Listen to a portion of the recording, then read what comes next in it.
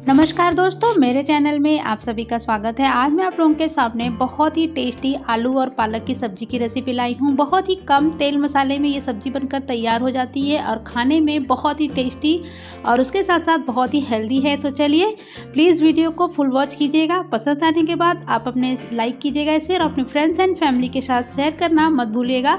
तो चलिए दोस्तों स्टार्ट करते हैं। तो इस आलू पालक को बनाने के लिए यहाँ पे मैंने दो बंडल पालक लिया है, लेकिन यहाँ पे मैंने आज पहाड़ी पालक लिया है। ये जो खाने में जो नॉर्मल पालक होती है उससे बहुत ही डिफरेंट होता है। इसका टेस्ट बहुत ही अच्छा होता है और इसकी जो डंठल होती है ना, बहुत ही सॉफ्ट होती है।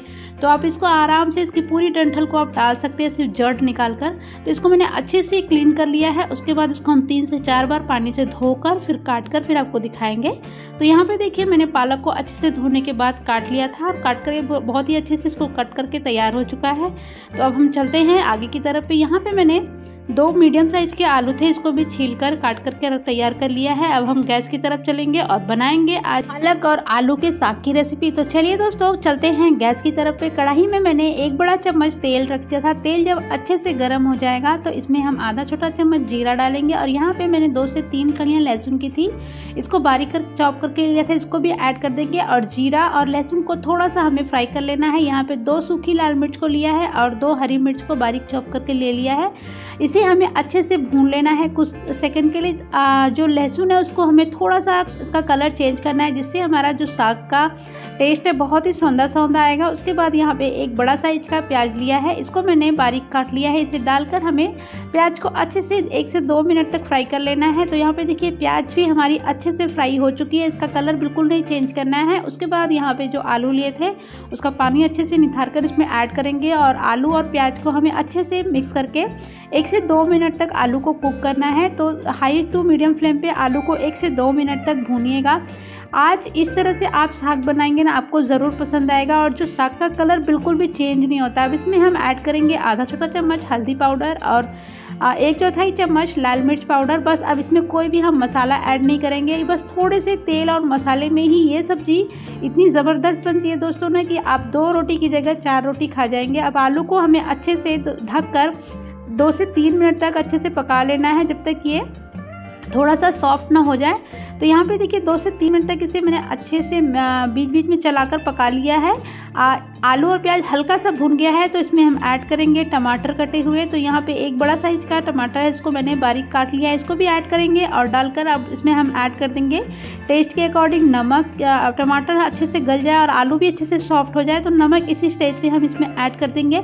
अगर आप नॉर्मल पालक यूज़ कर रहे हैं तो नमक ध्यान से डालिएगा लेकिन ये वाला जो पालक होता है ना ये ज़्यादा खारा नहीं होता। तो इसमें हमने टेस्ट के अकॉर्डिंग नमक डाल दिया है और डालकर अच्छे से मिक्स कर देंगे और आलू को हमें लगभग 80 टू 90 परसेंट तक कुक कर लेना है। उसके बाद ही हम इसमें कटे हुए पालक ऐड करेंगे तो इसको अच्छे से मिक्स करेंगे और ढक कर जब तक हमारा आलू अच्छे से पक न जाए तब तक इसे हम पकाएँगे। तो दोस्तों, इसको मैं कवर कर देती हूँ और बीच बीच में चलाते हुए अच्छे से आलू को पका लेंगे।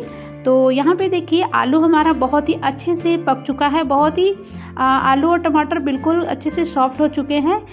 और हमारा मसाला भी बहुत अच्छे से भुन चुका है तो इसमें स्टेज पे हम डालेंगे पालक। तो देखिए, आलू बिल्कुल लगभग पक चुका है। आप, अगर आप इस तरह से आलू और टमाटर अच्छे से गलने के बाद साग डालते हैं ना तो साग का कलर बिल्कुल भी चेंज नहीं होता है, बिल्कुल ग्रीन रहता है।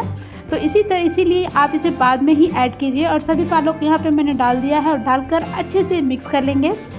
पालक को हम अच्छे से मिक्स कर लेते हैं। दोस्तों, अगर आपने अभी तक मुझे सब्सक्राइब नहीं किया तो प्लीज़ सब्सक्राइब कीजिएगा चैनल और अगर वीडियो अच्छी लगे तो प्लीज़ आप इसे लाइक कीजिएगा और अपने फ्रेंड्स एंड फैमिली के साथ शेयर ज़रूर कीजिएगा।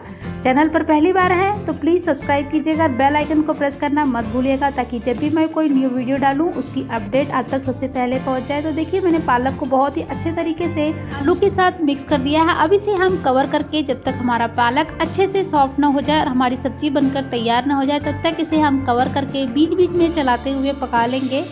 तो दोस्तों, अगर आपको पहाड़ी पालक अवेलेबल हो कहीं से भी तो प्लीज़ एक बार ज़रूर अब मेरे कहने से एक बार इसका सब्ज़ी बनाइए, आपको बहुत ही पसंद आएगा। तो आप इसे अच्छे से मिक्स कर देते हैं और बीच बीच में चलाते हुए हम सब्ज़ी को बहुत ही अच्छे से पका लेंगे। दोस्तों ये सब्ज़ी खाने में बहुत ही टेस्टी और बहुत ही हेल्दी है। बहुत ही कम तेल मसालों में हमारी ये सब्ज़ी बनकर तैयार हो जाती है। विंटर सीज़न चल रहा है तो पालक बहुत ही आसानी से मार्केट में मिल जाता है और पालक में बहुत ही प्रचुर मात्रा में आयरन होता है, जो हमारे शरीर के लिए बहुत ही लाभदायक होता है। तो इसका सेवन हमें ठंडी में सभी हरी सब्जियों का सेवन ज़रूर करना चाहिए। तो देखिए, हमने सब्ज़ी को बहुत ही अच्छे से तीन से चार मिनट तक बीच बीच में चलाकर पका लिया है और हमारी सब्ज़ी बनकर बहुत ही अच्छे से तैयार हो चुकी है। आलू पालक साग बनकर तैयार है इसे खाने के लिए। तो इसको मैं आपको सर्व करके दिखाती हूँ दोस्तों। आप देख सकते हैं, इसका कलर बिल्कुल भी ब्लैक नहीं हुआ है। हमने जो पालक बाद में डाला ना, उससे इसका जो पालक का कलर बिल्कुल चेंज नहीं हुआ है। और ये खाने में बहुत ही ज़बरदस्त और देखने में भी बहुत टेस्टी लग रहा है। और इसे आप रोटी, पराठे या फिर प्लेन राइस के साथ भी खाएँगे, आपको ज़रूर पसंद आएगा दोस्तों। तो चलिए, उम्मीद है आपको आज की ये मेरी छोटी सी वीडियो पसंद आई होगी, ये रेसिपी पसंद आई होगी। तो मिलते हैं नेक्स्ट वीडियो में नेक्स्ट रेसिपी के साथ। तब तक हेल्दी खाइए हेल्दी रहिए। Thank you so much for watching